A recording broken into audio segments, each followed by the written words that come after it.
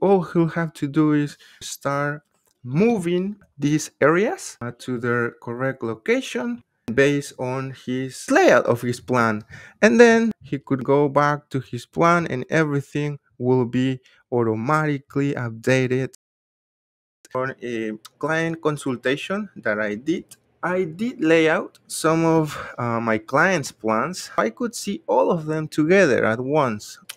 What I noticed was that there was a pattern for for some drafting process and it was about here on this site building data. Most of their projects he had to manually calculate this portion of uh, his cover sheet dividing by this factor then adding those two factors to finally get this uh, value. By doing this manually not only will take time but also it will be prone to human errors. One of the first thing i did was create a series of polylines. As you can see here this is a regular polyline as you can see.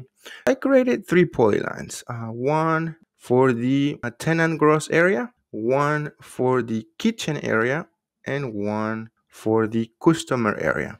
As you can see this was because we had three different area calculations here. Once I create those polylines, those three different polylines with three different colors, it was time to start adding some smart text. I could get this area of these objects. And the way I did it was I selected that piece of text and you can see it is in paper space or layout. I needed to bring this text into into model space.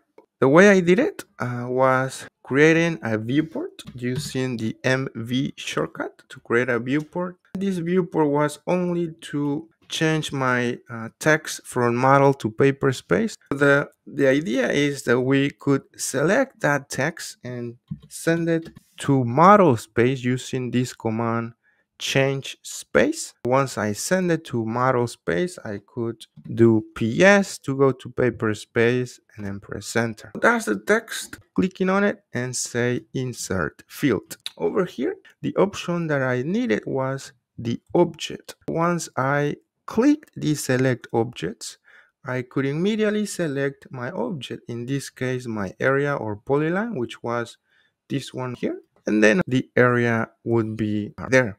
I clicked OK and I got my number there associated with my first area, in this case, the tenant gross area. How did I send this back to Paperspace? The way I did it was using the same uh, procedure, getting inside my inside my viewport by double clicking on it and then uh, we will have our text there, I use the same command, change space to bring it back. And I have my smart text here to place it where I need it. So that I associated the first tenant gross area to the specific polyline. So I did the same procedure for the other areas. Once I had those three different areas, the tenant gross area, as well as the kitchen and customer, I needed to calculate the area code review. And what was the area code review? According to my client, was simply the area where work was happening, and that was this area over here.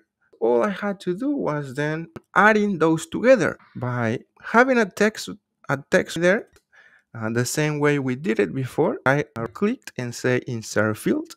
Once I did that, uh, instead of picking an object, what I did is I used the formula option. I did click and say insert field. And the reason why I did it was because I needed to select my objects and pick the kitchen area number here picking the uh, in this case the content you can see I could add those two numbers using this plus. And that way um, by selecting those two numbers the kitchen area as well as the customer area I will have the total here for the area code review. The next thing was using the same procedure I had to divide by 200 to get the number of occupants here and the same procedure insert a field click to use this value here by clicking insert field select objects select the kitchen area. You utilize the content for the number and then once i had that i use this divide character and then i just uh, typed this 200 for the factor and then clicked okay once i had that value i applied the same procedure but in this case utilizing the customer area over here. The last part was to add these two values to get the overall total occupant. In this case i did a plus calculation by selecting these two values over here using the same steps to do or create a project all he had to do was replace his floor plan from the xref palette by going over here and opening his new floor plan selecting it click it open and then all he'll have to do is start moving these areas uh, to their correct location and then put it there. Or he could also add some some vertex if he wanted based on his layout of his plan. And then he could go back to his plan and everything will be automatically updated. He doesn't have to worry about this data anymore. If you want to streamline your AutoCAD workflows join our lazy professionals and business owners at patreon slash lazy arquitecto